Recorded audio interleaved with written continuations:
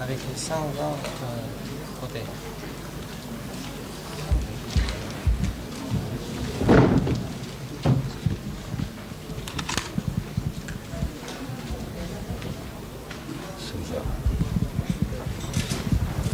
Ah,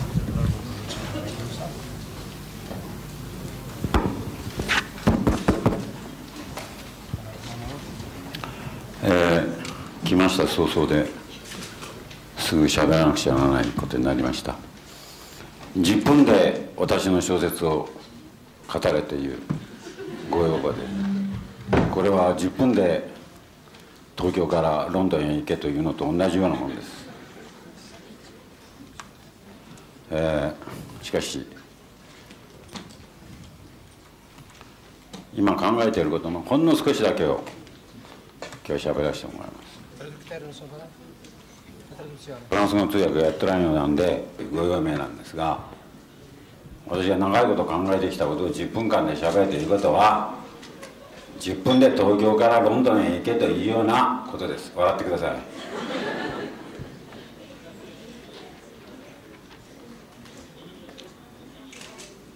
えーもう皆さんご存知のように今の小説の中で一番関心のあることは人間の意識ではなくて無意識をどう書くかということです。それでいろんなやり方がこの30年間の間ございました。幸いなことに我々日本人には仏教ということが仏教という宗教が無意識について随分勉強してくれました。5世紀の頃仏教は人間の心を8つの段階に分けてその8番目に無意識というものを考えてくれました。仏教の言葉でこれを「あらや」と言います「あらやの意識」と言います。あらやというのはたまるというところです。意味だそうです。ヒマラヤという言葉があります。ヒマラヤという山があります。ヒマというのは雪です。あらやというのはたまるということです。雪がたまっている山という考え方になってしまうというのが仏教の考え方ですね。仏教ほど無意識ということをよく考えてくれた宗教はちょっとないと思います。これに比べるとキリスト教というのは西洋の中で比較的意識ということ無意識でない意識ということを重要視しましたから無意識のことを考える考え方はむしろ東方のキリスト教例えばグノーシスとかギリシャ正教とかそういう方の方に異端として追いやられてしまいました。この10分間の話を終わります。非常に盛りだくさんのことを10分間で申し上げたんで皆様にはお分かりにならなかったと思います。お分かりにならないのは当たり前ですがお分かりになりたかったら今後の私の小説を読んでください。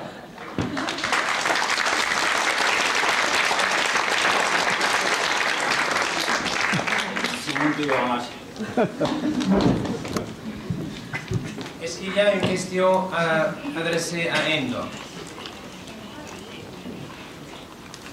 難しいからあら外れない Alors, euh, dans notre première conversation, euh, vous m'avez dit une chose qui m'avait euh, beaucoup intéressé, et c'était que euh, Jung était d'abord beaucoup plus familier, parce qu'il est beaucoup plus euh, totalisant, beaucoup plus globalisant, beaucoup plus systématisant que Freud.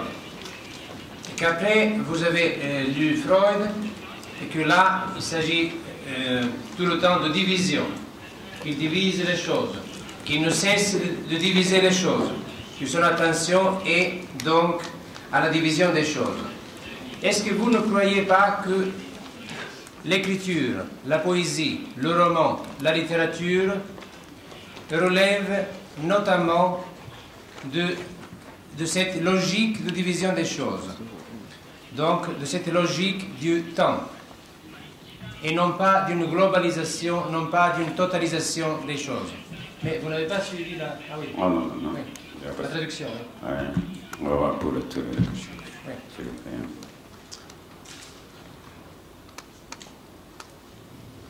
Est-ce qu'il y a d'autres questions Oui, Okonogi. お好み先生、あなたはフロイドの派の人ですから、私をいじめないでください。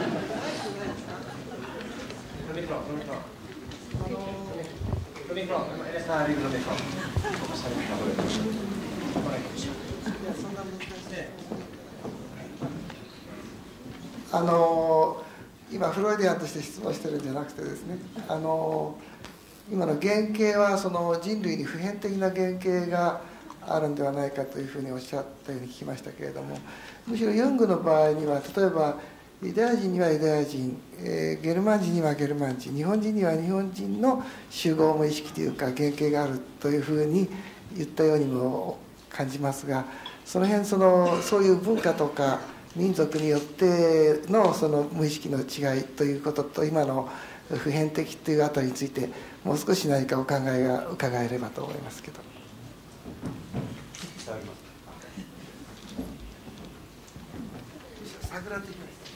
あさえー、と私はあの先生のような学者じゃありませんから間違ったらごめんなさい。私がユングの方のあの先生たちに伺ったああれではですねいわゆるその民族的ないわゆる地域的なそうい先生のおっしゃった原型の他に人類共通の原型というものがあるというふうに私は、えー伺いましたしまたユングの方にも確かにそう書いてあったように思います。えーまた原型があっていうようなものはああいうものはイリュージョンであるというのが先生たちフロイダ派のお考えだろうと思いますが私はそういうことは分かりません。私はあのユングの方が私に都合がいいから受け取っておるだけのことでして。そしてもし先生のようにですねお考えでしたら例えば私は外国の古典を読んで感動しないでしょう。外国の古典を読んで私は感動するのはそこの原型がですねその作品にあるものが私の原型に触れるからじゃないでしょうか。そういうことは民族が国境を越えて何か X というものがそこにあるというふうに考えていいのだと私は自分に都合よく思ってるわけです。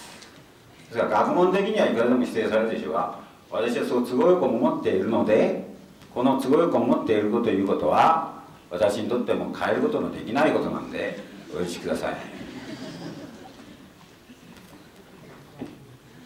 他にございますかなきゃ早く返してもらいたい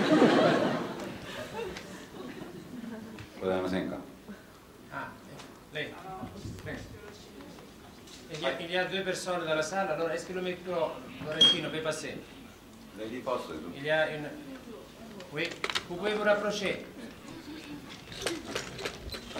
Vous pouvez vous rapprocher, s'il vous plaît. 時間を割いてください。あの 新約聖書をあのまだ少ししか読んでないんですけれども、あの無意識の新約聖書の中と旧約聖書の中で無意識のよく現れている部分と、それからあの意識に重点を置くというふうに先ほどあの遠藤先生おっしゃいましたけど、その部分とあの指摘していただけないでしょうか。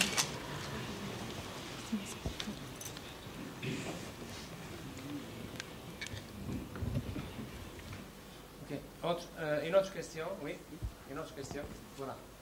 Mais Marielle, vous passez le micro. Oui. えー私、Votre, votre nom, s'il vous plaît. お名前えー高橋誠千葉短期大学12カレッジえーっとね私ねあの生物学やりながらですよねサイエンスをやってそれからキリスト教なんですけれども遠藤先生のあのおご本をねいろいろあの拝見してるんですがたった一つ私お尋ねしたいのはこのイエス・キリストの復活ですね。復活。先生どういうふうにお考えですかってことで。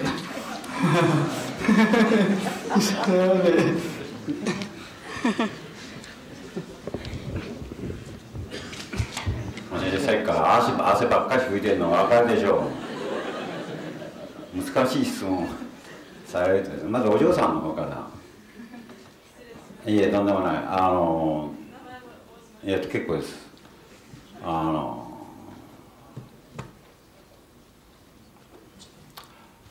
えっ、とそのこれをお話しするよりはですね読んでいただいた方がいいと思うんですよ。小説じゃなくてです。ね今私は「新潮」という雑誌にあのずっと書いているですね宗教と文学というもの。無意識についてというのをねもう6回にわたって書いてます。それを読んでいた。あの困った顔されますがじゃあ住所教えてください。お送りしますから。その方がはっきりお分かりになると思いますがただ例えばですね。例えば例えばですよ。あのガリレア湖っていうのがたびたび出てきます。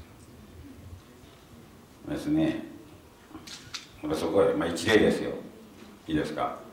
そこへそのペテロがですね向こうへイエスがいるのをガリレア湖の上笑いに見てそこを歩いてこいと。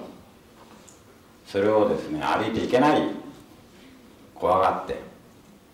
そうするとその歩いてこいと言われてですね歩くっていうエピソードに書いてあります。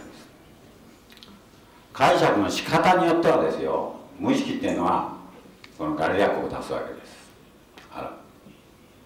お分かりになりませんでしょうね。やっぱり読んでいただいた方がいいと思います。だからお送りしますから読んでください。初めから読むと非常によく分かるように書いてあります。突然こういうことを申し上げるからね。はい。はい、あのまずはその原型というものの私は原型というもののイメージっていうことを説明してですね。その原型のイメージがどういうふうにその原型のストーリーというものがイメージだけで。そのストーリーが新約聖書の中に書かれているかということをずっと書いてあります。具体的に。ですからそれをもし本当は読んでいただくと非常にありがたいのですよ、ね、ごめんなさい。こういう説明でそれないとここで5分くらいで説明できないことなんだ。はいどうぞ。まず第一にですね私私自身の考え方ですよ。私自身の。ですよ。まず第一にその私は言えば聖書というものをですね日本人的な基本読み方をするわけですから最初の頃は私はイエスを中心にして読んどったんです。しかしこのも20年間はですね彼と人生で出会った人を中心にして読むようにした特に。そうするとですねその弟子たちは彼の弟子たちは私と非常によくいたぐらいに臆病で弱虫で非常に私としては親しみ深いと。しかもイエスのことが全然分かっていない人たちだということが分かった。いいですか？日本語で弱虫という言葉があります。弱い人間である非常に弱い人間であるということが分かってそれで私は聖書がとってもインチメートな感じになった。聖書が投げる宿題の一つはこの弱虫がどうして強い人間になれたかということですね。簡単に言うと。そうしますとですねまあそれはまあ一番そのいろんなことがありますけれどもとにかく彼が死んだ後ですねイエスが死んだ後弟子やその他の人間の中でイエスがですね別の形で生き始めましたね。イエスじゃなくてキリストとしてキリストになるまでいろんなプロセスがありましたけども別の形で生き始めましたね。次元の別の次元として生き始めましてね。これが私は復活の一つの形だと思います。それからもう一つその復活というのは蘇生ではないですね。例えばこのムクムクっと起き上がったりっていうことではありませんね。永遠の生命の中で生きるということですね。この2つを重ねまして私は復活だと思います。ということで構いませんでしょうか先生のお考え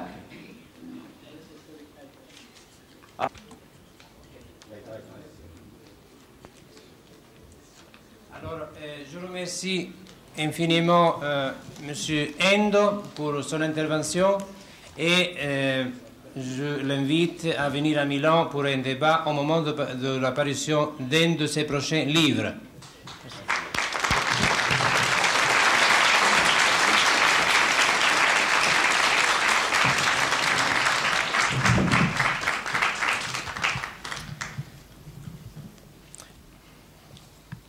日本の夫婦とか親子とかっていうものに、まあ、一般的にどんな特徴があると考えられているかということ。で第2にアジャ性物語というのはそのどんな内容のことなのか。で3番目にその見地から見るとあの日本のやはり、えーまあ、人間関係とか家族関係についてどんな特徴が考えられるかということ。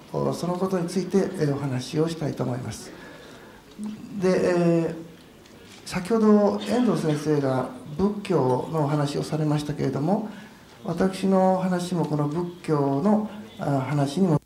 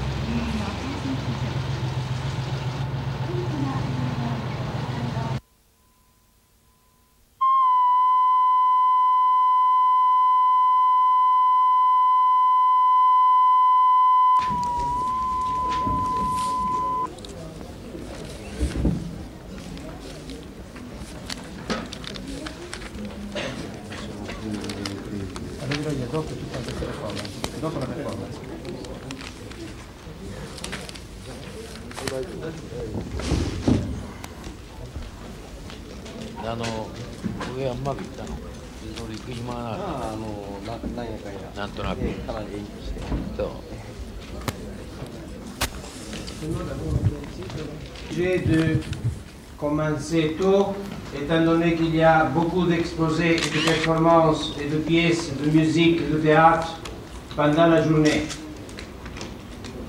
Hier, il s'agissait donc de la première journée et selon un rythme de commencement du congrès, aujourd'hui, on est vraiment en, plein congrès et le temps à disposition euh, des rapporteurs est beaucoup plus raccourci. Étant donné qu'une vingtaine de personnes prévues pour hier n'ont pas pu intervenir et vont intervenir aujourd'hui. Alors, je dis pour euh, les amis japonais qui sont déjà arrivés et aussi pour les amis des autres pays qui sont là, que le programme est bien établi, qu'il y a pour chaque chose qui se passe dans ce congrès un calcul bien précis, que les détails du congrès sont préparés depuis, depuis longtemps, mais qu'il y a, selon le rythme, une suite exacte qui est établie au fur et à mesure.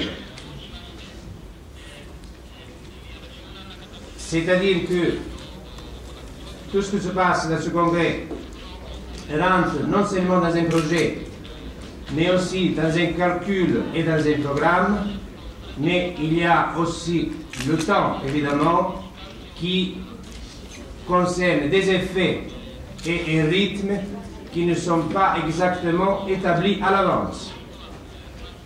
C'est pour qu'il y a de l'avènement scientifique, inventif, culturel et aussi de l'événement comme effet. Alors je profite du fait que vous êtes là pour dire un peu la liste des performances d'aujourd'hui. Il y en a une maintenant concernant justement l'informatique et le zen. Je demande d'ailleurs qu'on m'apporte un appareil pour que je puisse suivre après la performance.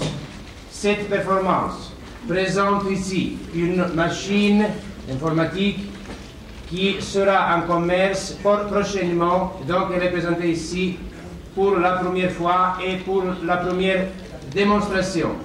Il y a le professeur Shimizu qui est ici à ma gauche et qui, s'occupe justement de la gestion et du marketing et des programmes de l'entreprise qui donc dans cinq minutes va illustrer ce qui va se passer.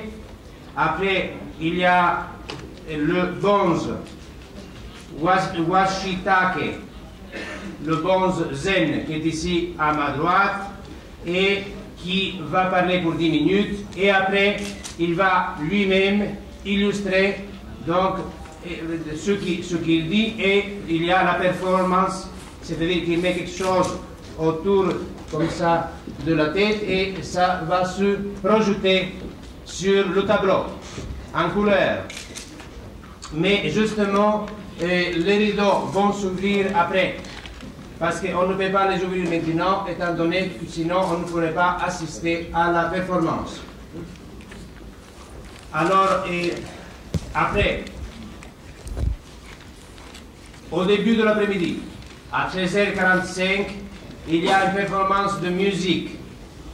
Après, non, 13h30, pardon, 13h30, 13h30. Et déjà, aux rapporteurs qui sont à côté de moi, de, euh, donc de condenser, euh, de, con- de condenser beaucoup leur exposé. La condensation la- et la brevité est proportionnelle dans ce congrès à l'efficace. Alors, euh, je passe la parole maintenant à, au professeur Shimizu, qui donc va parler de informatique et euh, Zen. Toute cette performance, la performance de, de euh, Shimizu et la performance du- de notre ami le Bonze Washitake ちょっと呼ばれて et s'appelle informatique et Zen. 皆さんおはようございますこれから ひらめきの力学えーアルファ波による東西の接近と題しましてお話と一つの試みを皆様にお目にかけたいと思います。で今日はバイオフィードバック装置を使って脳波の出現状況を皆様に見ていただくわけですが先ほどご紹介にありましたように私は大学でマーケティングマネジメントを教えております。大脳生理学者でもなく精神分析医でもない私がこのようなことをお話しするのはなぜかということから今日のお話を進めてまいりたいと思います。つい最近の新聞によりますと52歳のある銀行の支店長さんが人事異動を苦にして自殺をしました。またそれから23日後は38歳の会社員が仕事に疲れたという理由でビルの8階から飛び降り自殺をしたことが報じられております。また昨日は18歳の女性が学校を卒業しまして一流企業に就職が決まりました。入社3日目に仕事に自信がないということでこれも飛び降り自殺をしております。最近発表されました警察庁のまとめによりますと我が国の昨年の1年間におきます自殺者は2万5202人。これが第二次大戦後最悪の記録となっております。でこのうち最も特徴的なのは特に私の方が関心を寄せますのは年齢的に見まして40歳および50歳の男性の自殺者が非常に増加しておるということでございます。急に増えてきたのは一体なぜか。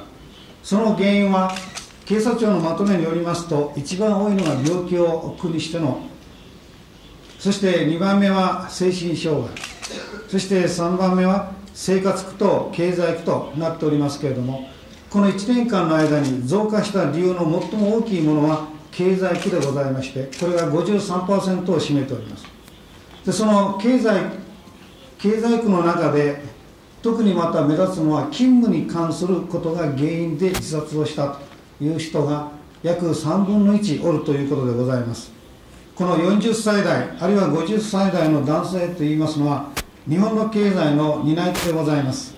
企業ではほとんどが管理者の仕事をしておる人が多いはずでございますがかつて中国の孔子は論語の中で始終にして惑わすということを言っておりますが現在の日本では最も勤勉でむしろ能力のある人ほどこういった現象に合っているということは注目しなければなりません。日本は今豊かな物質に恵まれております。しかし40年前は戦後の持つこの物の欠如時代を我々は迎えておりました。それから30年前はどうやら我々は勤勉に働きまして物の充足時代。そして20年前は東京オリンピックを迎えまして物の反乱時代を我々は迎えたわけでございます。そして10年前は大阪の万博以降日本はオイルショックを見事に克服しながら物離れの時代を迎えたわけでございます。豊かなものの中にあって物を所有することよりも形のないものに価値を見出そうということが出てまいりましてそして現在今我々日本人は自分自身の生き様にクリエイティブな意味を求めるというものにこだわる時代に入っております。今40代50代の男性は戦後の日本をこのような過程でひたすら働いて築いてきた人たちでございます。そして今一つはこの不連続の時代と言われる過去の延長でものを考えることができなくなった。そのために過去の栄光が明日の自分のアイデンティティとはならないということに気づいたということが一つの原因だと思います。二つには今日のマイクロエレクトロニクスなどの技術進歩によりまして仕事のやり方及び環境が大きな変化を遂げております。この目まぐるしい変化についていけなくなったという挫折感。3つ目は企業競争が国際的にも国内的にもますます厳しくなってきて企業の管理者は日常業務とそして部下の指導に追われてストレスがたまる一方である。4つ目は社会的には平均寿命が伸びて高齢者が増えております。そしてまた他方では価値観の違うヤングジェネレーションの派手な動きが目につきます。この2つの世代に挟まれて板挟みになっているということが言えます。5つ目は家庭では妻が共働きをしているかまたは文化の時代と言われます今日カルチャーセンターに通ったりなどをして非常に留守が多い。また受験期の子供がいたりいたしまして妻子との対話が全くと言っていいほどなくなっております。人はこれをアキノス症候群エンプティネストシンドロームと呼んでおります。つまりこういった経済の発展の陰で40代50代の男性はどこにもストレス解消の場がない。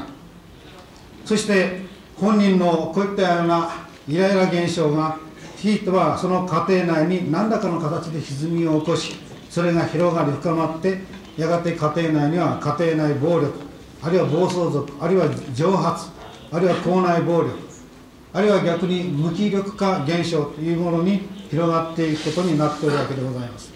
で私どもは企業産業教育の立場から見ましてちょうど4050という管理者にとって問題を2つに絞ることができると思います。一つはこういった状況の中で安易に自分の限界を設けてしまうということ。でもう一つは精神的に疲れ果てていくつかのシンドロームに陥っているということ。でこの自分の限界に対しては私どもは潜在能力の開発という形。心の強化が必要でございますしシンドロームに対してはメンタルヘルスという立場から体の問題を検討しなくちゃなりません。ところが心の問題は我々日本人はサイコセラピーということについてはまだ無関心でございます。また体の問題は単なる健康では満足するものではございません。そういうわけで宗教だとかヨガとかいうところに入っていくわけでございますがやはり他力本願よりも自分自身の体の持っている自然の治癒力というものつまりホメオスターシスというものを通していかに自分を信ずるかというところに目を向けなくてはなりません。そういうわけでこの我々はバイオフィードバックというものを考えたわけでございます。でバイオフィードバックというものは1965年から、研究がされておりますけれどもこれに私どもはこの特定の治療ではなくて潜在能力の開発とそしてメンタルヘルスという立場でこのバイオフィードバックを捉えていこうでこの今日皆様にお見せしますこのバイオフィードバックの新しい機械は非常にこのアナログ化からデジタル化をできるということによりまして小型化が可能になった。小型化が可能だということはコストダウンにも通じまして一般の方にもこのバイオフィードバック装置が使えるようになったということでございます。そして我々はこのバイオフィードバック装置によって特定の治療よりも先ほど申し上げましたように一般の方に使えるように持っている。そういう形でのこのマインドジェニックと申しますがこれを今日皆様にお目にかけたいと思います。それではこれからその五郎様先ほどご紹介いただきましたけど鷲竹託仙してございますが、えー、五郎様は禅宗の一派であります曹洞宗総本山横浜市の鶴見にございます総持寺で講師をしておられます。で今日は特別おいでいただきましたのでこれからわずかな時間でございますが、座禅に入ります前にお話を伺いたいと思います。題は首相不妊について。主と申しますのは修行の主。書は証明の書。そして不妊というのは2つではない。離れないという意味でございます。では五郎さんどうぞお願いいたします、えー、ただいまご紹介をいただきました。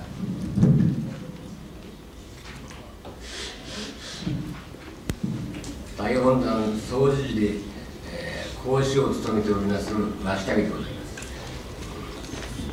本山の私の任務というのはいわゆるその外来種表から来る参見希望者その座禅のお世話をしております。でこの、まあ、本筋に入りますがお釈迦様がお悟りを開かれました時にこういうことをおっしゃってます一切出場出部所総目国土出会場これをこれはお経の言葉そのまま申し上げたんでございますがこのことを曹洞宗の道元伝には、えー、耳の色耳の色谷の響きも見ながら我が釈迦牟尼仏の恋と姿耳の色谷の姿も見ながら我が釈迦牟尼仏の恋と姿。こういうことをしでお釈迦様が6年の国を追い出してお叩きを開かれた。そして目をあえて見るとこの天地間の地上のありとあらゆるものがお悟りを開いていたんです。こういうことをおっしゃってるんですね。他の宗教ですと私が悟りを開かしたんだ。こういうことを言うんですがお釈迦様の場合そういうこと言わない。悟りを開いているのを私が発見したんだ。そうおっしゃってます。でその、えー、内容というのは、うん、例えば偽りのない姿。それからこの四季折折に変わるその風景ですね。これは何人も犯すことのできない現地のこの宇宙の原則なんだ。法則なんだ。そのことをいわゆるそのお釈迦様が悟られたわけです。それを仏教では消防この犯すことのできない原則法則を消防あるいは仏性という言葉で表現しております。この方のうん私ども人間というのはそうはいかないんですね。なかなかそうはいかない。でこのそのために、えー、座禅っていうものが必要になってくるわけです。私昨日も実は今朝は休んできましたが2泊3日の110ミリほどの座禅があるその後昨日の午後からまた別な時になりだから座禅というのはいわゆる理想の人格者。それを求めて座るわけです。でこの座禅の本筋に入りますが上元伝示のかかりました称号原稿この中の現状公安の町という中にこういう言葉があります仏道を習うというは自己を習おうなり自己を習うというは自己を忘れるなり自己を忘れるというは万法に生じられるなり万法に生じられるというは自己の信心および他己の信心をして脱落せしむるなり。いわゆる座禅を習うということですね。それは自分を見つめることなんだ。自分とは何者だ。掘り下げて見つめるわけですね。じゃその次は自己を習うというは自己を忘れるなり。座禅の時には座ってる時には一切ものを考えないんですね、えー、例えて言うならば計量器時計のような格好をして測りがあります。あの測りは使わない時には針がゼロのところにピタッといってなくちゃいないですね。これが正確な測りです。それがいつも針が測られてるようではその正確なものの重さそれが出てこないわけです。ちょうど座禅はこの測りの針をピタッと当てるゼロに当てるそれがその座禅だ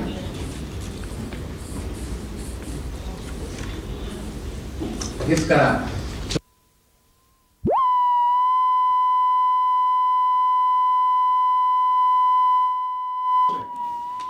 La pittura è l'arte del colore dell'oggetto, è l'arte del colore dello specchio, dello sguardo, della voce. La moda è l'altra faccia della pittura. La moda proviene dal tempo. La moda non è la spazialità. Il Giappone stesso non può leggersi in termini di spazialità, in termini di visione, in termini di ricordi di viaggio. La moda è la temporalità delle cose. È il sistema impossibile della differenza sessuale. Uomini e donne sono costituiti dalla differenza sessuale, da una differenza insormontabile non biologica, non sociologica. Una differenza che non ha nulla a che vedere con la distinzione sociale dei sessi e dei ruoli. La distinzione sociale dei sessi e dei ruoli null'altro è che maschere, maschere della commedia dell'arte. Questa opera non è commedia dell'arte, ma questa opera ha trovato un precedente. Oggi non basta appunto la commedia dell'arte. Questa è l'opera, questo congresso stesso è l'opera del secondo rinascimento, l'opera, ma anche l'opera di arte e di invenzione. L'architettura ancora dalla parte dell'oggetto, dell'individuo, l'architettura, arte dello specchio, arte dello sguardo, arte della voce. L'altra faccia dell'architettura è la musica. La musica come arte dell'ascolto, la musica è custode del paradiso e la scultura è l'arte appunto della combinazione del corpo e della scena.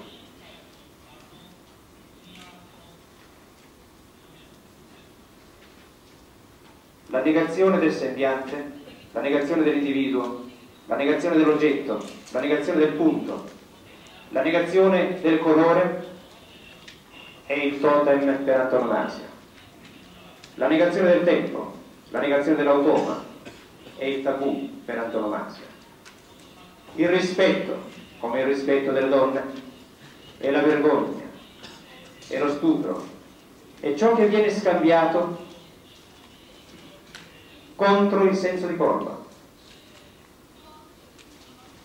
Il senso di colpa è impossibile da sostenere, è inapplicabile, precede qualsiasi atto, qualsiasi gesto, ma appunto, invece, la vergogna è una sorta di coscienza sociale o personale, del senso di colpa e il tentativo di gestire il senso di colpa. Le cose si scrivono automatizzandosi. Il tempo cifra. L'automatismo è la premessa della scrittura delle cose. È terminata e termina qui la disputa fra umanesimo e tecnologia che è datata nella Repubblica occidentale e orientale sono due modi per contrastare l'odio quale marca della divisione insormontabile delle cose. Lo zen è ciò che in latino può chiamarsi studium. Vi sono coloro che cercano di fare, che si danno da fare. Vi sono i devoti, vi sono coloro che hanno una dedizione, vi sono coloro che si dedicano a fare qualcosa, che si preoccupano di fare qualcosa, che cercano comunitariamente, da maestro in allievo, per esempio, e in esclusione della differenza sessuale, in esclusione delle donne, che caratterizzano invece questo secondo rinascimento, cercano appunto di evitare la differenza, di favorire la visione delle cose sul principio dell'invisibile. Zen, il paradosso dell'opposizione alla sessualità. Zen, l'azione economizza la morte e gestisce il tempo. Zen, modello di amministrazione del malinteso. E la severità, quale forma di amore che si sia purificato dall'odio. L'interesse dello Zen, oggi per uno psicanalista, oggi per me, sta proprio in questa impossibile abolizione del malinteso. Lo Zen non basta a gestire l'automa e a preparare il robot. Lo Zen è travolto dall'automa e dal robot, è travolto dalla divisione delle cose, dalla musica, dalla moda, dalla sessualità e dalla cifra del linguaggio. La musica e la sessualità sono strettamente connesse. Questo congresso viene da una pratica più che decennale del movimento freudiano internazionale. Si legittima per questo, trova in questo tutta la sua gratuità, tutta la sua arbitrarietà, è il fatto che non è sconfessabile. Questo congresso non ha prezzo, è impagabile, è incommercializzabile. È un atto libero a partire da cui un altro scambio può incominciare fra l'Europa, l'America e il Giappone fra il sentiero della notte o dei nomi o dello zero, il sentiero del giorno o dell'uno e il sentiero del crepuscolo, il sentiero stesso del paradiso. Andare a ovest per l'Europa significa giungere oggi qui in Giappone senza orientalismo. Andare a est per il Giappone significa incontrare la pietra di Roma senza occidentalismo. Un'altra clinica si inaugura con questo congresso, che vale anche da grande conferenza stampa sotto questo aspetto. Una clinica psicanalitica, una clinica senza precedenti,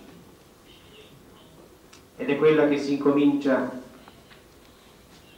a Milano, innanzitutto, e che in vario modo avrà studi, echi, elaborazioni, dibattiti nelle altre sedi in cui la Fondazione si sta organizzando a New York, a Parigi, a Berlino, a Ginevra. E dopo questo congresso a Tokyo. Grazie.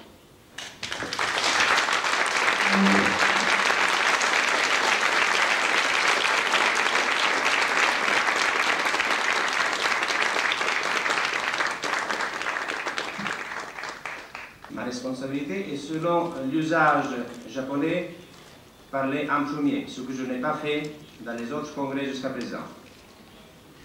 Étant donné que euh, j'ai organisé ce congrès, évidemment j'ai pris un certain temps pour dire quelque chose. Les exposés de ce congrès, performances, pièces de musique, de théâtre, vont euh, se dérouler avec une certaine scansion 性のコスモロジカルな含みというふうになっております。あの3年前にベルリオーネ博士と初めて、えー、お会いした時にこの題をメインテーマが、えー、性ということだったものですからあその課題でコントリビューションできるかと思いましてこういうタイにタイトルにいたしました、えー、日本ではあ性のことはああまり口にしない話しない。特に、えー、朝の10時から性のことを口にするのはあまり上品な人間ではないということになっておりますがあ時間の都合上で、えー、私ベルディルの、ね、博士の節操性とお金のことはああまり口にしない方がいいと、えー、これは私たちも小さい頃からあそういうふうに育てられてき、えー、ました、えー、だからといって日本人がああ性とお金、えー、金銭のことに関心ないかというと決してそんなことはなくて、えー、今日は日本人はあ立派なエコノミックアニマルとして、えー、世界で知られております。それと同様に日本においてはあ性に関する芸術は決して未発達ではないということは浮世絵の歴史を知っている方は誰でもご存知だと思います。えー、まあこういうふうに日本では性についての discorso 話ですね、えー、方のパターンというのはあ、えー、儒教的なあいわゆる confucianismo で、えー、によって、えーえー、抑圧されてきたとですからあ、まあ、儒教的な考え方によると性のことはあ話するのはエティケットに反する。それからあそ儒教とあ合わせて仏教の考え方においても女性というものはあポリューション汚れのもとであると。であるから女性のコンタクトということからあ始まる性の問題はあいわゆるこういう立派な綺麗なあの庭の前でお話しするテーマではないと大体普通考えられてきておりました。ですから天皇の仕事というものがいわゆる宇宙の力をセックスを媒介としてこのように導きれるということに表れているように、え、日本の農耕の中においていわゆる農耕の行為は天皇がそういうふうにして、え、原型アーケティプティプスを示したらその示した行為をいわゆる農業の場において、えー、実現すると。そういうことに現れて、えー、おりました。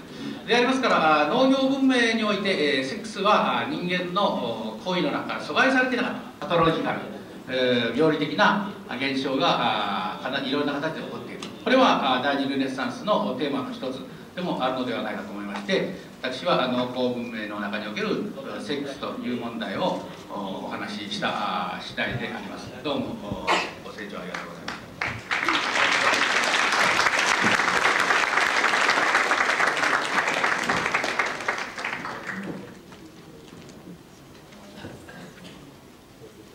How do you perceive the perspectives of the Second Renaissance, of the reinvention of arts and science, the perspective of internationalism in your own field and in general?